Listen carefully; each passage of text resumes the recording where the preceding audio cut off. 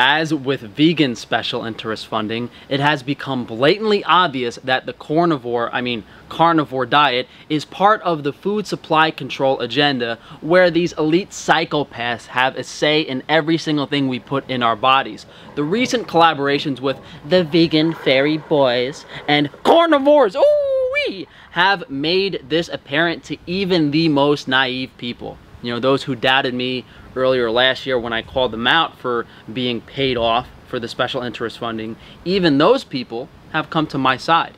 Raw Alignment being sponsored by ButcherBox, you know, was the first red flag, and John Venus collaborating with these carnivore diet influencers more recently, you know, I, I mean, who's still following these people? What is happening with the carnivore diet now is eerily similar to what happened with the push for grain-based products in the 1970s through 80s. High fructose corn syrup and everything, you know, food pyramid pushing 11 servings of bread per day, ultimately kicking off the obesity epidemic.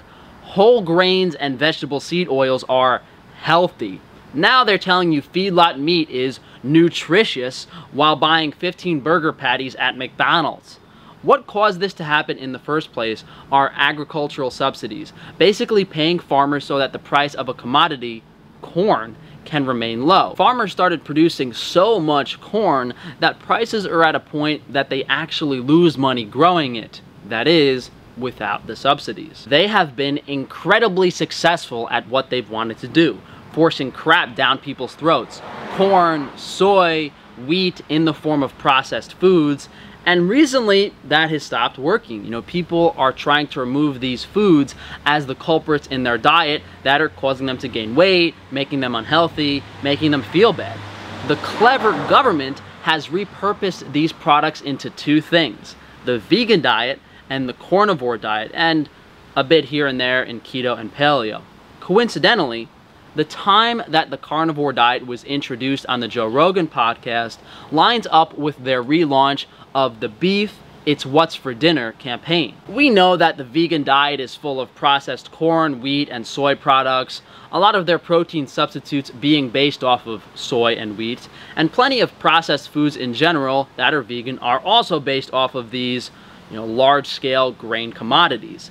These subsidized grains are being processed into healthy, plant-based alternatives, as opposed to that donut you used to buy. Too bad they're both awful for your health, at least the donut tastes good. If you haven't seen the documentary King Corn, it exposes this aspect of our food supply very well. You know, one interesting thing they say on there is that most of the carbon in our bodies is composed of corn.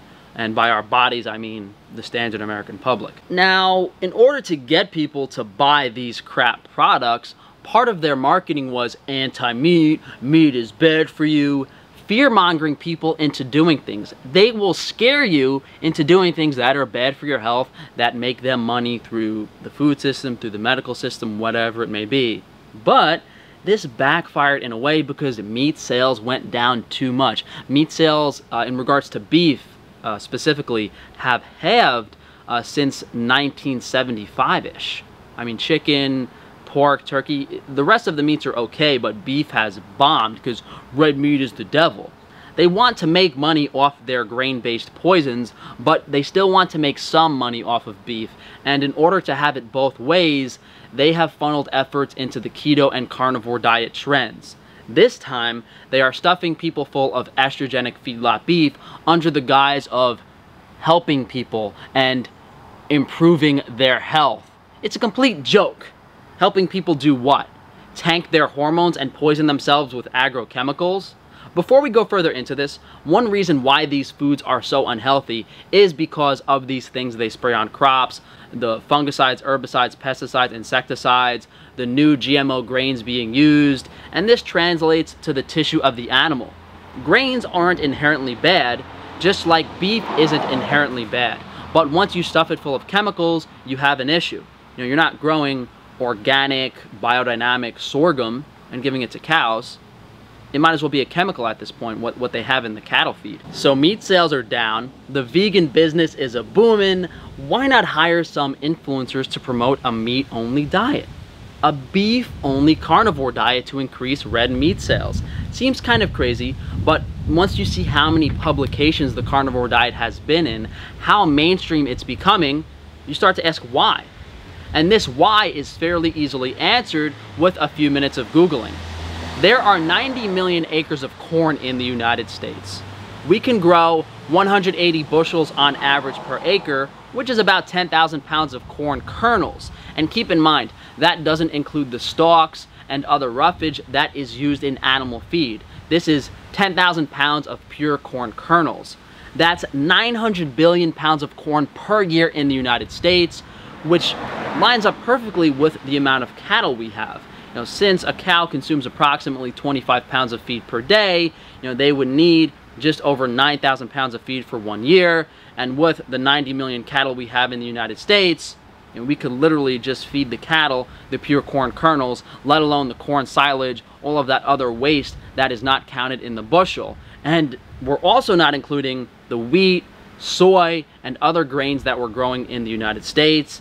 Plus, we're also importing grains from other countries. So there is definitely a surplus of animal feed that we can't really use for anything else besides feeding animals. And if people don't want to eat the meat from those animals, that puts big agribusiness, the people in control of our food supply, in a position where they're losing money, where meat is going bad on the shelves. If you added up all of these grains we're growing in the United States, the amount of stems, leaves that can be used for forage for animal feed, you can feed so many animals that the entire United States of America could follow a carnivore diet. That is how much meat we have. That is how much meat we can produce.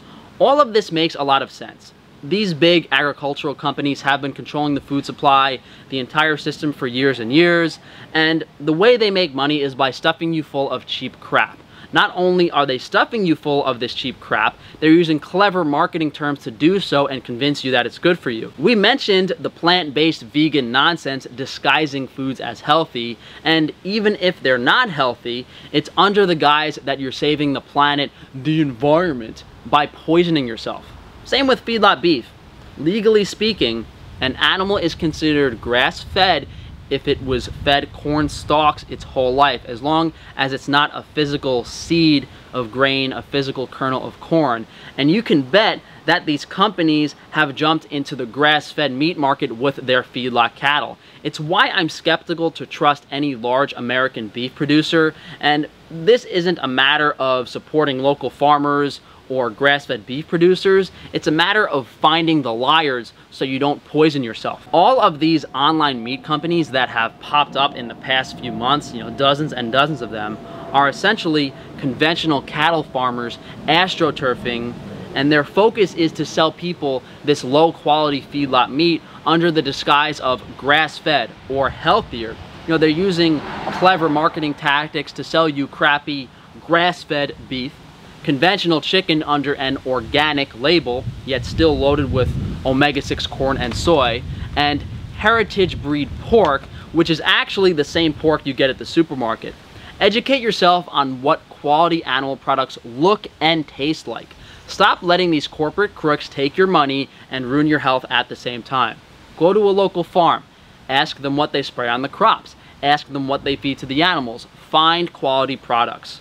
I'm not here to make money selling grass-fed beef. If I wanted to make money, I'd be doing the same thing all of these other crooks do. Buy cheap meat and use clever marketing tactics to sell it to you.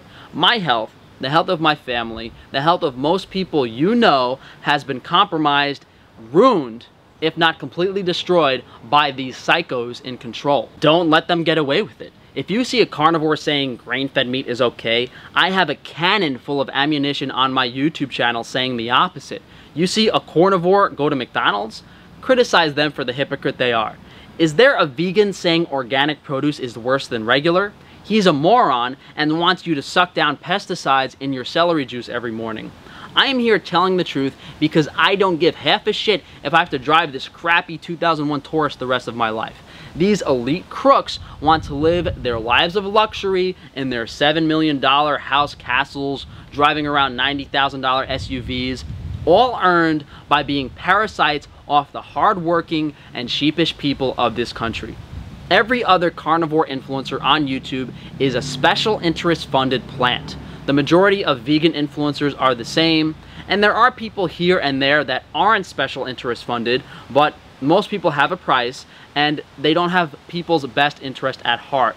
If you look at how all these pathetic low lives team up against me, you, you start to lose hope yourself.